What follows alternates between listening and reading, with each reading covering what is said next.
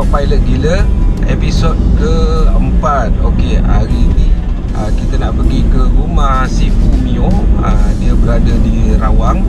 Kalau ikut kira semalam Kalau korang uh, perasan uh, Kod aku tak boleh terbang.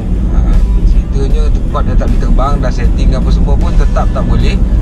Jadi Mio kata bawa datang ke rumah dia untuk check lah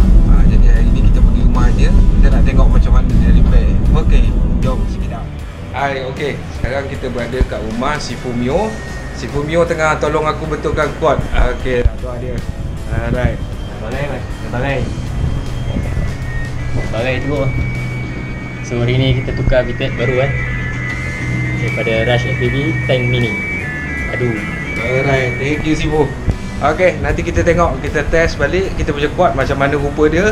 Kali ni Tyro fully 3D printed. Alright, nanti kita tengok balik. Bye.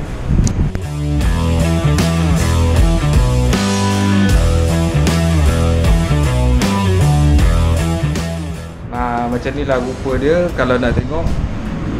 Siap ada tanduk-tanduk bagai. Semua fully 3D printed. Ha, kecuali dia punya motor lah. Alright.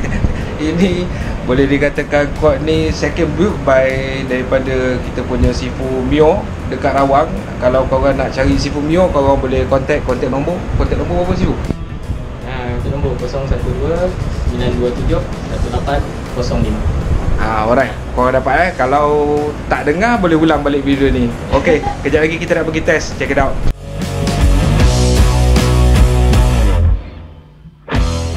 Okay, genam. Keputusannya hari ni kalau korang nak tengok patah lagi babe. Habis berkecai. Uh, keputusan dia kalau nak buat uh, custom frame aku tak cadangkan korang pakai PLA. Memang sepatutnya pakai PETG ataupun ABS lah. Tapi aku ni degil Kat rumah kan berlambat PLA uh, Lepas tu Apa yang aku dapat hari ni Quad aku dah jadi macam ni. Okay korang nampak. Lepas tu Satu lagi Kipas dah putus. Balik ni nak kena solder balik. Kipas dah putus. uh-huh. Wire. Oh. Okay Kat sini kalau korang tengok Kita ada Abang Yus Kita ada Danny Kita ada Afiq uh, Kita ada Abang Abang Abang Mio Kita punya Sifu kat sini. Uh, Dia lah old timer Alright. Malam ni aku nak kena pergi rumah Sifu balik. Aku nak tukar frame besi. Buka dulu. Nanti kita jumpa. Besok kita fly. Alright bye